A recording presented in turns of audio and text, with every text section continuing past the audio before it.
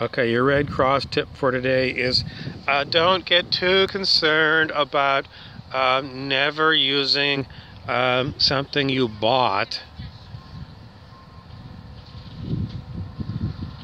because um, it's just something we say. Don't be too concerned.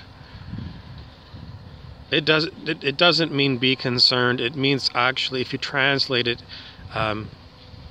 In its true meaning, don't be too concerned means don't concern yourself at all.